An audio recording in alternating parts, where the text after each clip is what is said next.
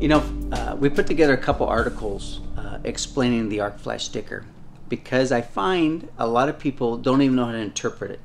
They have an arc flash study done, a sticker's been put on their panel, like this panel here, and they don't know what to do with it. So we created a couple articles.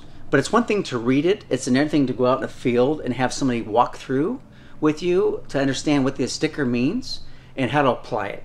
So that's what we want to do. We want to take a couple moments and take care of that for you. So when it comes to arc flash sticker, the first thing you want to be aware of is the incident energy.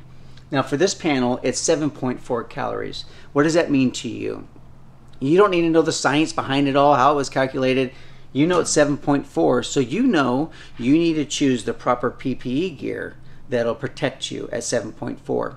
Now, for most of you, you're you're limited at a category two, which is eight calories. So you should have at least an eight calorie uh, PPE kit. That might be a jumpsuit with face shield and the sock and all the different stuff with it. You should have some basic uh, leather gloves and you should have some voltage rated gloves, so the rubber with the leather. So you know that you're going to need at least your eight calorie kit if you're going to take this cover off to be able to protect yourself on there. It talks about it at 18 inches. So what does 18 inches mean? We've marked some lines on the ground here, and 18 inches is pretty much this. If you take your arm and put it straight out, and you extended it from your chest to your wrist, you would realize that your distance is between 19 and 22 inches. So if you're going to be taking the cover off, if you're like, hey, I need to do a voltage reading on here, I know that I'm going to be making contact coming into this area. I know I'm going to be exposed to that full that full 7.4 calories. So I got to make sure I choose the proper PPE and I wear it. The next component I want to bring out because we're so close is the restricted approach, which is 12 inches. What does the restricted approach mean? I know that's going to be a very short working distance. That means that I have the potential of making contact and I could get shocked.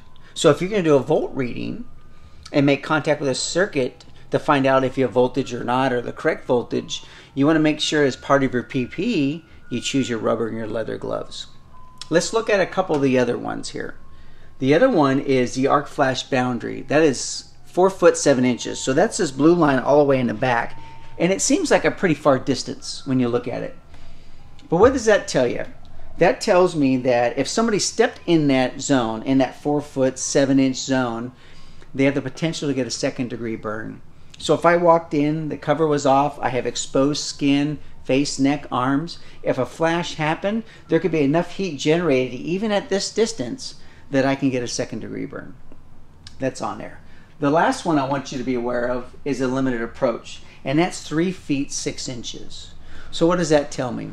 Really that somebody in that zone should be a qualified person and know how to work in an arc flash environment on there.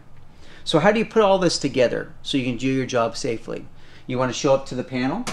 You want to look at the calorie rating so you choose the proper gear. You need to know what area you're going to work in, if I'm going to need gloves on top of that to protect myself. I also got to realize if my arc flash boundary is out four foot seven inches, how do I create boundaries on there to keep people out who are not properly protected if a flash happens so they don't get burned?